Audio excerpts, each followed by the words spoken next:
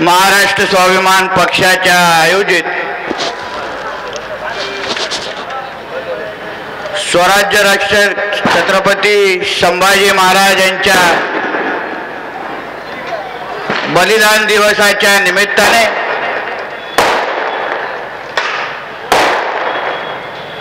शिवचरित्र व शंभू चरित्राचे अभ्यासक अमोल मिटकरी यांच्या व्याख्यानाच्या कार्यक्रमाच्या निमित्ताने मंचावर उपस्थित असलेले सन्मान्य डॉक्टर योगेश क्षीरसागरजी या कार्यक्रमाचे आयोजक महाराष्ट्र स्वाभिमान पक्षाचे बीडचे आमचे अध्यक्ष सन्मान्य सचिन उबाळे. महाराष्ट्र स्वाभिमान पक्षाचे औरंगाबादचे जिल्हाध्यक्ष औरंगाबादचे माजी महापौर सन्मान्य सुधम्मा सोनावणेजी महाराष्ट्र स्वाभिमान पक्षाचे सन्मान्य मनोज कदम सन्मान्य निलेश भोसले सन्मान्य ॲडव्होकेट शेख शफीक सन्मान्य श्री ए जाधव मंचावर उपस्थित असलेले सर्वच प्रमुख मान्यवर समोर उपस्थित असलेले सर्वच वडीलधारी मंडळी बंधू भगिनीनो आणि माझे सर्व तरुण मित्रांनो. महाराष्ट्र स्वाभिमान पक्षाच्या आयोजित या भव्य व्याख्यानाच्या कार्यक्रमाच्या निमित्ताने मी आपल्या सगळ्यांशी संवाद साधण्यासाठी आणि आपल्याशी बोलण्यासाठी इथे आवर्जून उभा आहे. सर्वात प्रथम मी महाराष्ट्र स्वाभिमान पक्षाच्या वतीने अमोल मिटकरींना मी मनापासून त्यांचे आभार मानतो. की त्यांनी आमच्या पक्षाच्या या व्याख्यानाच्या कार्यक्रमासाठी विचार मांडण्यासाठी त्यांनी वेळ दिला. यासाठी मी स्वाभिमान पक्षाच्या वतीने त्यांचे आभार मानतो. ह्याच्या अगोदर बीडच्या बीडमध्ये येण्याची संधी होती. मराठा आरक्षणाची माझी सभा होती. पण एक दिवसा अगोदर कोकणामध्ये आंदोलनामुळे पोलिसांनी अटक केली होती. आणि म्हणून आपल्या बीडमध्ये येऊ शकलो नाही. आज पण कोकणातून आलो आहे म्हणून बीडला जाण्याच्या जायचं होतं. म्हणून अगोदरच कोकणाच्या कार्यकर्त्यांना सांगितलं की मस्ती करू नका. नाहीतर परत इतिहासाचे पुनरावृत्ती होईल. आता अमोलने बाजूला बसताना सांगितलं की नितेशजी महाराष्ट्रातला दुसरा कुठलाही आमदारांनी बोलवलं असतं तर मी आमंत्रण स्वीकारलं नसतं. म्हणून या आमंत्रण स्वीकारल्याबद्दल मी त्याच्या मनापासून मी आभार मानतो. आजचा हा कार्यक्रम हा बलिदाना दिवसाच्या निमित्ताने हा कार्यक्रम आयोजित केलेला आहे. आपल्यासमोर विचार मांडण्यासाठी आम्ही सर्वजण आलेलो आहे.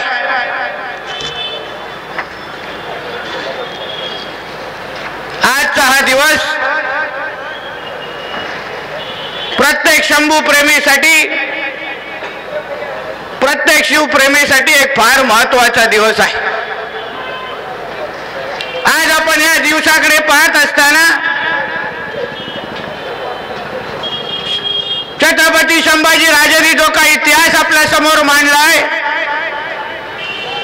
त्याला आठवण ठेवण्यासाठी किंवा करण्यासाठी हा खरं म्हणलं तर दिवस आहे. बलिदान दिवस म्हणून आपण या दिवसाकडे पाहतो. शंभू शंभू राजांच्या समोर छत्रपती शिवाजी महाराजांच्या समोर आपण नतमस्तक होतो. जो एक ज्वलंत इतिहास आपल्यासमोर त्यांनी मांडला आहे तो परत एकदा आठवण करण्यासाठी हा दिवस आपल्यासाठी महत्त्वाचा आहे. आज हा इतिहास वाचत असताना ऐकत असताना जो काही इतिहास आपल्या नजरेसमोर आज अमोल यांच्या माध्यमातून हे मांडणार आहेत तो ऐकत असताना आपण सगळेजण इतिहास जेव्हा नजरेसमोर आपण इतिहास घेऊन जाऊ. तेव्हा आपल्याकडे आपल्यावर असलेली जबाबदारीचं पण भान भान पण आपल्याला असलं पाहिजे. नुसतं इतिहास ऐकून नुसतं इतिहास वाचून आपलं काम किंवा आपली जबाबदारी संपत नाही. हे ह्या निमित्ताने आठवण करून देण्यासाठी आम्ही इथे आवर्जून आलेलो आहे. जो इतिहास आपल्यासमोर शिवाजी महाराजांनी आणि संभाजी राजांनी समोर करून उभा करून ठेवलाय व्याख्यानाच्या निमित्ताने आपण हा इतिहास वाचतो आणि ऐकतो. पण नेमकं ह्या इतिहासाकडून आपण काय शिकलोय? आपण हा इतिहास किती आत्मसात केलाय? हेही खरी म्हटलं तर समजून घेण्यासाठी हा दिवस फार महत्त्वाचा आहे. समोरचा कॅमेरा करा म्हणलं तर माझ्या उंचीचा ठेवलेला आहे. बाहेरच्या लोकांची मागच्या लोकांची करा म्हणता अडचण आहे. पण हा इतिहास ऐकत असताना वाचत असताना आपण सर्वजणांनी हे समजलं पाहिजे की जरी हा ज्वलंत इतिहास आपल्या नजरेसमोर ठेवला महापुरुषांचा इतिहास वाचत असताना ऐकत असताना त्यांच्या मावळं म्हणून त्या इतिहासाबद्दल आपण जे विचार करतो त्या इतिहासाचे जे आपण रक्षण करतो ते आपल्यासाठी फार महत्वाचं आहे. आज इतिहास त्या या महापुरुषांनी आपल्यासमोर लिहून ठेवलाय. अहो जो काय ज्वलंत इतिहास आणि संभाजी राजेंचा आहे त्या वयामध्ये ते शौर्य करणं एवढं युद्ध जिंकणं स्वराज्याचं रक्षण करणं या काही छोट्या गोष्टी नाही आहेत छत्रपती शिंबा शिवाजी महाराजांचा जो इतिहास आपल्या नजरेसमोर आहे अहो तो इतिहास वाचल्यानंतर इतक्या वर्षानंतर पण जे वेगवेगळे जे इतिहासकार आहेत व्याख्यानकार आहेत जे आपल्यासमोर भाष्य करतात विचार मांडतात एवढ्या वर्षानंतर पण ते इतिहास वाचल्यानंतर ऐकल्यानंतर अंगावर आपल्या शहारे येतात. आपल्याला आश्चर्य वाटतं. कसा लिहून ठेवला असेल कसा जो रचला असेल त्या लोकांनी इतिहास. आपल्यासारखे ते सगळे तरुण होते. हाणा मासासारखे आपले तो आपल्यासारखे तरुण. त्या लोकांनी या या बलाढ्य हा मोगलांसमोर इतिहास कसा घडवला असेल? ते खरं म्हटलं तर ऐकण्यानंतर आपण सगळ्यांचं खरं म्हटलं तर आश्चर्य वाटत. काही आपल्यातले जे काही लोक आहेत काही थोडी अतिशाणे पण लोक आहेत त्या लोकांनी काय आपल्या महापुरुषांना संभाजी महाराज किंवा छत्रपती शिवाजी महाराजांना त्यांना देवांचा पण उपमा दिलाय की ते देवासारखे होते परमेश्वरासारखे होते. पूजा केली पाहिजे असं पण लिहिलेलं आहे. सगळं काय काल्पनिक करून ठेवलेलं आहे. पुरंदरेसारख्या लोकांनी त्याला परमेश्वरा जागी बसून फक्त स्वतःचे किशे भरले आहेत आणि बाकी काय आतापर्यंत केलेलं नाही. पण आपण एक आपण हा विचार मनामध्ये घट्ट ठेवला पाहिजे. छत्रपती शिवाजी महाराज असतील छत्रपती संभाजी महाराज असतील ते महापुरुष होते. आपल्यासारख्या हरामासाचे त्या लोकांनी अशक्य गोष्टी शक्य करून दाखवल्या. स्वतःच्या मनगटावर त्याला विश्वास होता. म्हणून कुठल्याही गोष्टीची पर्वा न करता स्वराज्य घडवण्यासाठी आणि स्वराज्याच्या रक्षणासाठी त्यांनी आपलं आयुष्य घालवलं. एवढे महान आपले महापुरुष होते हे आपण सगळ्यांनी समजलं पाहिजे कुठली देवाची उपमा न देता त्यांच्या इतिहासामधून आपण काय शिकणार आहोत? त्यांच्या इतिहासाचं आपण रक्षण कसं करणार आहोत? याबद्दल आपण सगळ्या जणांनी विचार केला पाहिजे. असंख्य गोष्टी आपल्या अवतीभोवती घडतात. ह्यांचा इतिहास आपण जो महाराजांच्या शंभूराजांचा जो इतिहास वाचतो आणि ऐकतो कधी कधी मनाला मला विचार पडतो गरज होती हो संभाजी राजांना. आपल्या सगळ्यांसाठी एवढं बलिदान देण्याची. अहो जिजाऊ मातानी आपला मुलगा कुठला मुलगा?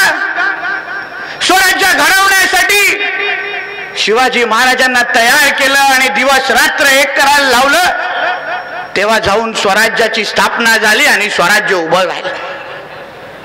संभाजी आपलं पूर्ण आयुष्य शिवाय स्वराज्याच्या रक्षणासाठी घालवलं. काय गरज होती त्या लोकांना. पण आपल्या स्वराज्याचं रक्षण केलं पाहिजे. माझं रयत सुख समृद्ध राहायला पाहिजे. त्यासाठी ह्या सगळ्या महापुरुषांनी आपलं आयुष्य आपल्यासाठी बलिदान दिलं आपल्यासाठी घालवलं. पण आपण सगळेजण विचार करा हे लोक ह्या लोकांनी ह्या सगळ्या गोष्टी आपल्यासाठी केल्या. आज जरी हा इतिहास घडवला नसता. तर कदाचित तुम्ही आणि मी हे उभे इथे बसून हे व्याख्यान ऐकू पण शकलो नसतो. पण त्या लोकांनी आपल्यासाठी एवढं काय केलं? त्या लोकांनी आपल्यासाठी बलिदान दिला. पण तुम्ही आणि मी नेमकं त्यांच्यासाठी काय करणार आहोत? हा खरं म्हणलं तर आज विचारण्यासारखा प्रश्न आहे. सगळ्या गोष्टी त्यांनी केल्या. इतिहास त्यांनी रचला सगळ्या गोष्टी मेहनत आणि बलिदान त्यांनी दिला. आणि आज आपण आजही आपण सगळेजण काय घोषणा देतो? की राजे परत या. म्हणजे राजांनी परत येऊन इतिहास घडवायचा. आणि आम्ही सगळेजण फक्त गप्प बसत राहायचं. वा अरे सोप्या गोष्टी आहेत हो. म्हणजे सगळी मेहनत तुम्ही करा. सगळं बलिदान तुम्ही द्या. आणि आम्ही सगळं फक्त तुमच्या इतिहास वाचून कुर्त्यावर बिल्ले आणि डोक्यावर टिळक घेऊन फक्त फिरणार. आम्ही करणार नाही काय? याबद्दल थोडा आपण लोकांनी कधी विचार करणार आहोत का? त्या लोकांनी अगर आपल्यासाठी तो बलिदान दिला नसता इतिहास घडवला नसता स्वराज्यामध्ये तो ज्वलंती इतिहास अगर रचला नसता तर काय इज्जत होती हो तुमच्या आमच्या सगळ्यांची? काय व्हायचं पहिलं त्याच्या विरुद्ध आमचे राजे लढले काय व्हायचं ज्याच्यासाठी ज्याच्या रक्षणासाठी आमचे संभाजी राजे लढले हे जरा तुम्ही लोकांनी असंख्य वाचले आहेत आणि त्याच्या ऐकलेलं आहे ना? मग त्याबद्दल आम्ही काय करणार आहोत? आम्ही त्याच्यासाठी किती पेटून उठणार आहोत? हा खरं म्हटलं तर आज बलिदान दिवसा विचारण्याचा प्रश्न आहे. कुठे ना कुठे तरी संभाजी राजांना वाटलं असेल वाटत असेल. आज माझा बलिदानाचा फायदा आजच्या पिढीला काय होतोय का? मी जे काय केलं ज्या स्वराज्याच्या रक्षणासाठी बलिदान दिलं त्याचे विचार माझे आजचे मावळे पुढे घेऊन जात आहेत का? अहो बाकी सगळं सोडा. त्यांच्या इतिहासाचं संरक्षण तरी आपण आजच्या घडी करतोय का? हा खरं म्हटलं तर फार फार महत्त्वाचा प्रश्न आहे. असंख्य उदाहरणं आपल्या नजरेसमोर घडतात. असेच घडून जातात आणि आपण गप्प बसतो त्याच्याबद्दल अहो अन्याय होताना आपल्या निर्माण होत असताना आमचे शिवाजी राजे अगर गप्प बसले असते तर स्वराज्य घडला असता का? रयतेवर अन्याय होत आहे रयतेचा अपमान केला जातोय. रयतेचं भविष्य खराब केलं जात आहे म्हणून त्या पूर्ण कुटुंबाने आपलं पूर्ण आयुष्य स्वराज्यासाठी दिलं आणि म्हणूनच आज तुम्ही आणि आपण जगतोय ह्याबद्दल तुम्ही विचार केला पाहिजे. कुटुंबियांनी कुटुंबाने अगर ते केलं नसतं तर तुम्ही आणि आम्ही आज इथे भगवे झेंडे घेऊन फिरू शकलो असतो का? याबद्दल तुम्ही सगळेजण खरं म्हटलं तर विचार केला पाहिजे. पण त्यांनी आमच्यासाठी एवढं काय केलं? आपण फक्त काय करायचंय? ते त्यांनी जो इतिहास रचून ठेवलाय त्या इतिहासाचं संरक्षण करण्याचं काम हे आपल्या सगळ्यांच्या हातामध्ये आहे पण त्या गोष्टी आपण करतो का आपल्या नजरेसमोर रोज येऊन त्या इतिहासाची चिरफाड होते. आहे रोज कोणत्या कोणतरी येतं चुकीचा इतिहास मांडतात अहो गेल्या चार पाच वर्षामध्ये तर फार काय घडलं. तुम्ही विचार करा चुकीचा इतिहास मांडणारा त्या पुरंदरेला ह्या महाराष्ट्राच्या सरकारने महाराष्ट्र भूषण दिलं. म्हणजे ज्यांनी आपल्या महाराजांची जिजाऊंनी बदनामी केली त्याला आपण महाराष्ट्र भूषण देतो ह्या सरकारने. आपल्या नजरेसमोर ते घडलंय. त्याबद्दल तुम्ही सगळेजण काय करणार? एका बाजूला त्या पानसरेंना ज्यांनी खरा खरे शिवाजी आपल्या नजरेसमोर आणले खरा इतिहास आपल्या नजरेसमोर आणला त्यांना मिळते गोळी आणि ह्यांना मिळतं महाराष्ट्र भूषण हाच ह्याच काय महाराष्ट्रामध्ये आपण राहतोय? याबद्दल आपण काय करणार आहोत? हे सगळेजण खरं ह्या ह्या ह्या विषय तुम्ही खरं म्हटलं तर विचार केला पाहिजे. आमच्या नजरेसमोर ह्या गोष्टी घडतायत. आमच्या नजरेसमोर अपमान होतोय. आमच्या नजरेसमोर इतिहासाची मोडतोड होते. चुकीच्या इतिहासकारांना महाराष्ट्र भूषण देण्यासारखे सर्वोच्च पद दिली जात आहेत आणि आपण आतापर्यंत काहीच करू शकलेलो नाही. काहीच करू शकलो नाही. अहो महाराष्ट्राचं भूषण तो मोठा विषय झाला. हल्ली जो काय तुम्ही मालिका टीव्हीवर पाहत असाल. स्वराज्य रक्षक संभाजी प्रत्येक जण पाहत असाल. पाहता ना? काय घडलं त्याच्यामध्ये? खरा इतिहास मानला जातोय. खरं काय दाखवलं जातंय? म्हणून तर अनाजी पंथाच्या ढोंगण्यामध्ये कुठेतरी आग लागली आहे ना? म्हणून तर खालतून पेटले मिरची लागली आहे. सारे हे लोक खरे इतिहास दाखवतात कसे? आम्हाला तो पुरंदराचा इतिहास दाखवायचा आहे सगळं काल्पनिक करायचंय. मग ते घोड्यावरून उतरले झाडं हलायला लागली फुलं हलायला लागली असा खोटा इतिहास दाखवायचा. आमच्या महापुरुषांची बदनामी करायची. अहो छत्रपती संभूजी संभाजी राजांना स्त्री लंपट बोलण्याचे हिंमत त्या खोट्या इतिहासकारांनी आपल्या नजरेसमोर ठेवून ठेव लिहून ठेवलेला आहे आणि आता जेव्हा त्या संभाजी सिरियलमध्ये त्या मालिकेमध्ये जेव्हा खरा इतिहास दाखवला जातोय तेव्हा काय झालं होतं त्या अमोल कोल्हेवर? मुद्दामून निघाला काय? मुद्दामून काय पक्षांतर केलं काय? खा झाली काय त्याला? अचानक वाटलं का? की नाही बाबा आतापर्यंत शिवसेनेत होतो. चला आता पाचशे एपिसोड नंतर राष्ट्रवादीमध्ये जाऊ. असं काय घडलं का? नाही असं घडलं. बांधवानो चलो खरा इतिहास त्या सिरियलमध्ये मांडतायत. म्हणून भिडेसारखे लोक. आणि हे खोटे प्रचार करणारे जे इतिहासकार आहेत त्यांना कुठेतरी मिरची लागते. त्याला पैसे मिळून दिले नाहीत. त्याला आर्थिक संकटात आणलं. कित्येकदा त्या सिरियलवर दबाव टाकला गेला. की कुठल्याही पद्धतीने ही सिरियल बंद झाली पाहिजे. आणि जेव्हा तो ऐकला नाही तेव्हा त्या शिवसेनेवाल्यांनी त्याची सगळी रसद आणि सगळा पैसा बंद केला. म्हणून त्याला नाईलाजाने तिथे राष्ट्रवादी किंवा दुसऱ्या पक्षामध्ये जायला लागला. म्हणजे विचार करा. खरा इतिहास लिहिणाऱ्या लोकांना महाराष्ट्रामध्ये आज काय होत आहे छत्रपती शिवाजी महाराज छत्रपती संभाजी महाराजांच्या महाराष्ट्रामध्ये तुम्ही खरा इतिहास लिहा तर तुमचं आम्ही शोषण करू. अशा पद्धतीचं वातावरण आज घडत चाललेलं आहे. आश्चर्य वाटतं. तरी पण आपण त्या लोकांना डोक्यावर चढून ठेवतो.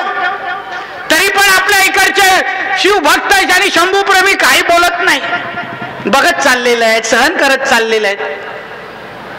अहो एवढी सहनशक्ती अगर आमच्या मावळ्यांमध्ये आणि आमच्या शिवरायांमध्ये असती ना कधीच स्वराज्य घडला नसतं. पण आत्ताच्या आमच्या मराठ्यांना आणि बहुजनांना सहनशक्तीसाठी खरं म्हटलं तर भारतरत्न दिलं पाहिजे. एवढं सहनशक्ती कोणामध्येच नाही हो. मानलं पाहिजे खरं म्हटलं तर. म्हणजे आदर्श सहनशक्ती सहनशक्ती कोणामध्ये असेल तर आमच्या महाराष्ट्रातल्या बहुजनांमध्ये असं म्हटलं तर आज चुकीचं ठरणार नाही. नेहमी आमच्या शिवाजी महाराजांचा आणि यांचा इतिहासाची मोडतोड करायची. स्वतःच्या सोयीप्रमाणे वापरायचं स्वतःचं राजकारण करायचं आणि राजकारण करून मतं मिळवायची उमेदवारी उमेदवार जिंकून आणायचे. आणि उद्या सत्ता मिळाल्यानंतर इथे खोट्या इतिहासकारांना आणि खोट्या बातम्या पसरून आमच्या महाराजांना शंभूराजांची बदनामी करायचा असा खुला कार्यक्रम आज महाराष्ट्रामध्ये खरं म्हटलं तर चाललाय. तुम्ही मला सांगा हो काही दिवसा अगोदर? काही दिवसा अगोदर? जेव्हा राम मंदिराचा विषय फार जोरात चाललेला देशामध्ये तेव्हा तुम्हा लोकांना एक घटना आठवत असेल. शिवसेनेचे पक्षप्रमुख राम मंदिराकडे जात होते अयोध्याकडे. प्रत्येक टीव्ही वाला बातमी ब्रेकिंग न्यूज दाखवत होता. आणि त्यांनी काय जाहीर केलं? की मी अयोध्याच्या निघण्याच्या अगोदर मी शिवनेरीला जाणार आणि तिकडची माती घेणार आणि मग ती घेऊन मी अयोध्याकडे जाणार. आता माझा प्रश्न एवढा साधा आहे. अयोध्याचं जे काय राम मंदिर आहे जी बाबरी मस्जिद पाडल्यानंतर ते राम मंदिर बांधणार आहेत ना. म्हणजे एका मस्जिदेवर ते राम मंदिर बांधणार आहेत. आता अमोल आमच्या व्यासपीठावर आहेत. मला त्यांना विचारायचो व्याख्यान करते आहेत. महाराजांच्या इतिहासामध्ये जो काही इतिहास आमच्या महाराजांनी घडवला आमच्या महाराजांनी कधी कुठलेही मस्जिद कधी उद्ध्वस्त केला होता का? एक ही मस्जिद उद्ध्वस्त केली होती का? मग एका मस्जिद बांधण्यासाठी मस्जिद उद्ध्वस्त करण्यासाठी त्याच्यावर मंदिर बांधण्यासाठी शिवनेरीला जाऊन माती घेऊन घेतली जाते आणि मग अयोध्येला गेलं जात नेलं जात. म्हणजे आमचे शिवराय हे मुस्लिम बांधवांच्या विरोधात होते मुसलमानांच्या विरोधात होते. हे दाखवण्याचा प्रयत्न नाही का? अहो आमच्या ज्वलंत इतिहास जना जना माहिती आहे त्या इतिहासकाराने जरा विचारा. आमच्या राजांनी कधी कुठली मस्जिद उद्ध्वस्त केली नाही. की आपल्या इतिहासामध्ये त्यांनी मस्जिद उभी केली आहे एवढा ज्वलंत इतिहास आमच्या राजाचा एक लक्षात घ्या. अहो आमच्या राजाचा अंगरक्षक हा एक मुस्लिम बांधव होता. सर्व जवळचे सगळे लोक मुस्लिम होते मुसलम बांधव होते. हा कधी इतिहास समोर कधी मांडणार नाही. पण फक्त सोयीचा इतिहास समोर मांडायचा. सोय सोयीचा सगळ्या काही गोष्टी सगळ्यांसमोर आणायचं महाराजांची चुकीची प्रतिमा तयार करायची. आणि सांगायचं का बघा महाराजां छत्रपती शिवाजी महाराज हे मुस्लिम द्वेषी होते आणि असं सांगून फक्त आपला फक्त आपले मतपेटी भरायचे आणि आपले उमेदवार जिंकून आणायचे. ह्या गोष्टी ऐकल्यानंतर पण आपण गप्प बसणार. त्याबद्दल आपण कोण आवाज पण उचलणार नाही. ह्याहीबद्दल तुम्ही सगळ्या विचार केला पाहिजे. चार वर्षामध्ये आपल्या मराठ्यांवर बहुजनांवर कितींदा वार केले गेले कितींदा आपल्याला त्रास दिला गेला. मराठा आरक्षण असेल मराठा आरक्षणासाठी जे काही तरुण लढले किती मुलांवर आज केसेस मागे घेतले गेले हो सांगा जरा तुम्ही. तुमच्या बीड जिल्ह्यातल्या तर किती तरुणांवर आज पण केसेस असतील? आज पण त्या पोलीस स्टेशनमध्ये चक्रा मारत असतील. आज पण त्या कोर्टाच्या तारीख घेत असतील. अहो पण आमच्या मराठा तरुणांवर तुम्ही केसेस टाकता? मग तो मनोहर बिडे का? या राज्य सरकारचा काय जावई बसला आहे का? त्याच्या केसेस का टाकल्या त्याच्यावर? त्याच्या अंगावरचा एक पण केस काढत नाही. त्याच्यावर आता अंगावर केस उरलेच नाहीत तो विषय वेगळा पण त्याचा एक पण केस त्याच्यावर टाकायची नाही. बाहेर पोलीस स्टेशन वर पर्यंत पोचायला द्यायचं नाही. पण आमच्या मुलांवर पाहिजे तेवढा केस टाकायचा. आणि मग शब्द घ्यायचा. प्रत्येक उपोषण सोडवताना मला आज आठवत. आझाद मैदानला जेव्हा उपोषण करते बसले होते राज्य सरकारचे मंत्री असतील शिवसेनेचे पक्ष प्रमुख असतील हे नेते मंडळी तिथे यायचे. आणि ज्यूस पाचताना काय बोलायचे भाषण करून गेलाय तो की सगळ्यांचे केसेस आम्ही परत घेऊन जाऊ. मग काय झालं त्या केसेस परत घेण्याचा? तुम्ही तुम्ही खरं म्हणलं तर विचारलं पाहिजे. आपण किती सहन करणार किती अंगावर घेणार? मराठा आरक्षण दिल्यानंतर पण आज किती आमच्या मराठा तरुणांना त्याचा फायदा झाला हे जरा हात वरती करून सांगाव. कोणाला नोकऱ्या भेटल्या? आता हल्लीमध्ये शिक्षण शिक्षक भरती झाली. त्याच्यामध्ये गव्हर्नमेंटनी सरकारनीच एक जी आर काढला. की ह्याच्यामध्ये C B C C B J J काय? जे काय नामकरण केलं राणे समितीचं. त्याच्यातल्या एकही मुलाला नोकरी मिळणार नाही असं राज्य सरकारकडून जी आर मिळालं. म्हणजे एका बाजूला तुम्ही मराठा आरक्षण जाहीर करता. आणि दुसऱ्या बाजूला जेव्हा नोकरी भरती येते आमची मुलं वाट पाहतायत. आमची मुलं तिथे रांगा लावतायत सरकारी ऑफिसेस मध्ये ते चला मराठ्यांना आरक्षण जाहीर केलंय. अठ्ठावन्न मोर्चे काढले. आमच्या इतक्या मुलांनी बलिदान दिला. आमच्या हजारोच्या संख्येने मुलांनी अंगावर केसेस घेतले. चला त्यानंतर तरी आम्हाला नोकरी मिळणार का? असा प्रश्न विचारून जेव्हा आमची मुलं तिथे जायची तेव्हा एकही मुलाला अजूनपर्यंत नोकरी देऊ शकले नाही. उत्तर द्यायला पाहिजे महाराष्ट्र सरकारच्या ह्या मंत्र्यांनी की कुठे गेल्या आमच्या मराठ्यांच्या नोकऱ्या हो? का नाही मिळालं आमच्या मराठ्या मुलांना नोकऱ्या? फसवलं ना आम्हा लोकांना? उगाच आम्हा लोकांना ते निवेदन घेण्याच्या टायमाला फक्त फोटो काढले आणि परत घरी पाठवले ना. म्हणून ह्याबद्दल तुम्ही हा बलिदाना दिवसाच्या निमित्ताने तुम्ही सगळ्या जणांनी ह्या गोष्टी ध्यानात ठेवले पाहिजे. आपण याबद्दल विचार केला नाही. तर हे सरकार आपल्याबद्दल विचार करणार नाही. ते अण्णासाहेब पाटील आर्थिक महामंडळ जे काय काढले ते आता काय मिरवण्यासाठी काढले काय छापण्यासाठी काढले हेच माहिती नाही हो मला.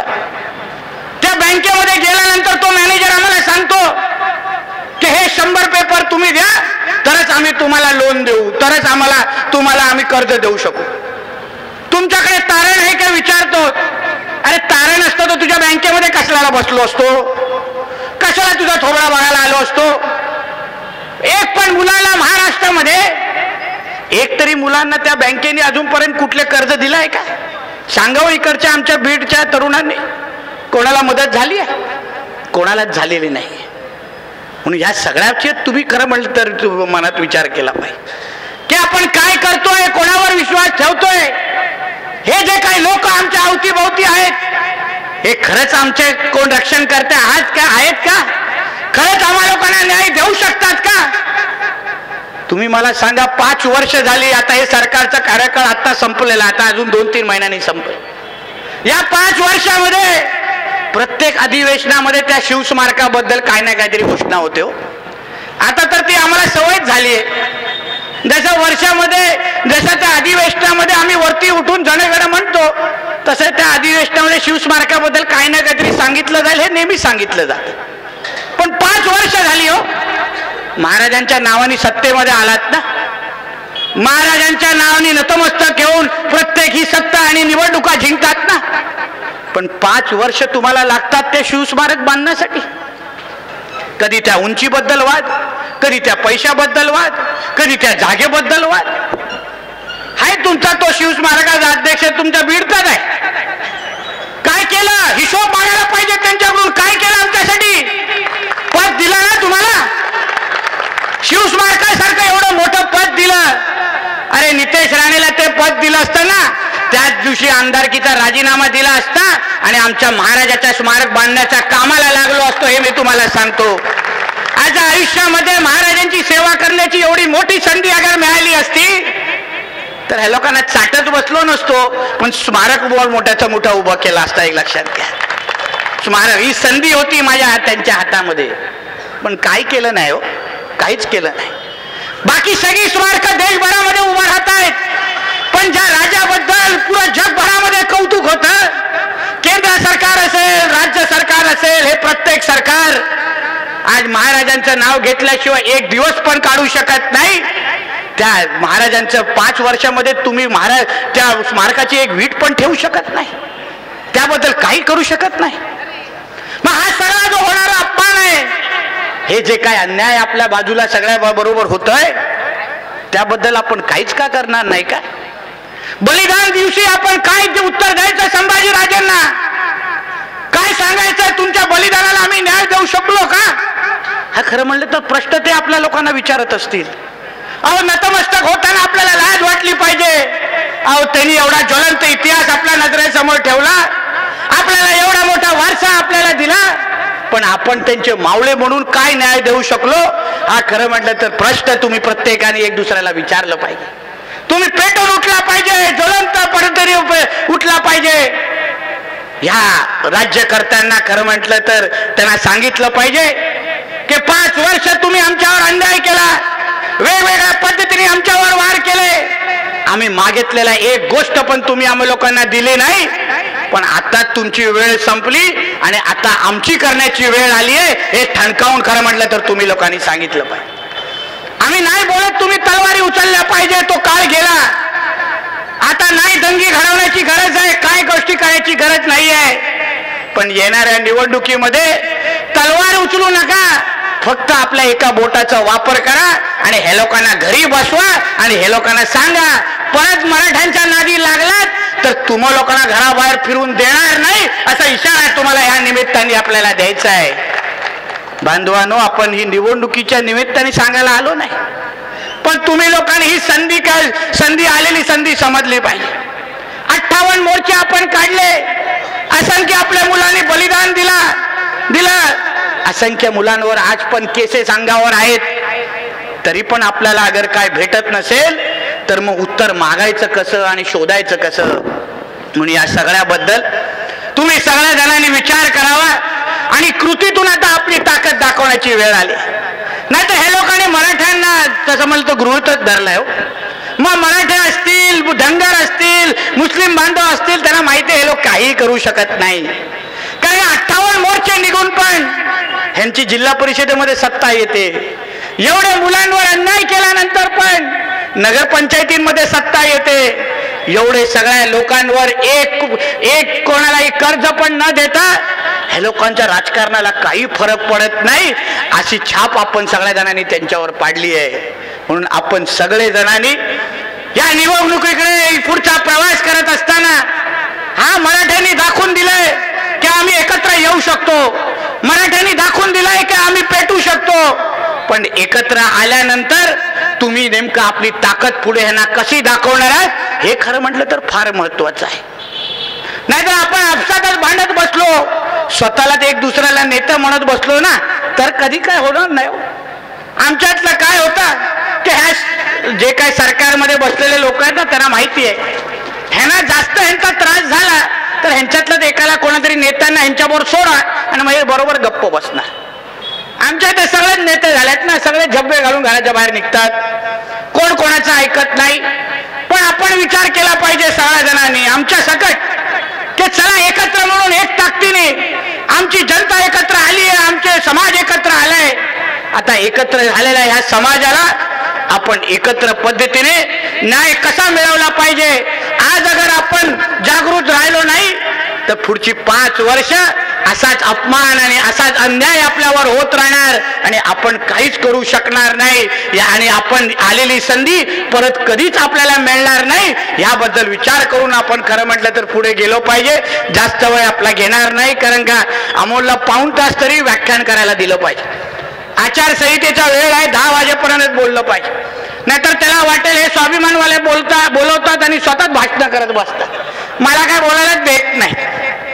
म्हणून जास्त वेळ घेणार नाही. पाऊन तास बरोबर त्याचं व्याख्यान तुम्ही ऐका आणि आम्ही ऐकतो. शेवटी हे ज्वलंत विचार ऐकल्यानंतर आपण काय पुढे करतो ह्याच्यावर सगळ्या गोष्टी अवलंबून आहे. गप्प बसत राहिलो काही केलं नाही. तर महाराजांना आणि शंभू राजेंना आपण कधीही न्याय देऊ शकत नाही. ह्याही बद्दल तुम्ही विचार कराल अशी अपेक्षा ह्या निमित्ताने व्यक्त करतो. परत एवढ्या मोठ्या संख्येने जमलात सगळ्यांनी शांत पद्धतीने भाषण ऐकलं. कोणीही काय किरकिर केली नाही टाळ्या पण मारले नाही. यासाठी तुमच्या मनापासून आभार व्यक्त करतो.